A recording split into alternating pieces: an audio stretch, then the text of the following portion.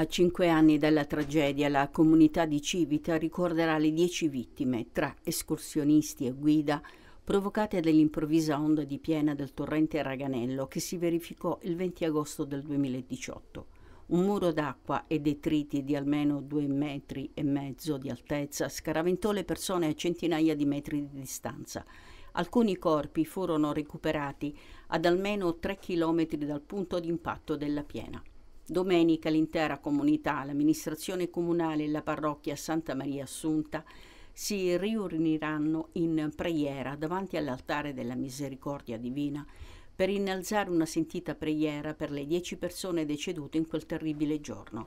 Quanto avvenne in quel funesto giorno, dice il sindaco di Civita Alessandro Tocci, è qualcosa che noi non dimenticheremo mai, così come saremo sempre vicini al dolore incommensurabile dei familiari delle dieci vittime.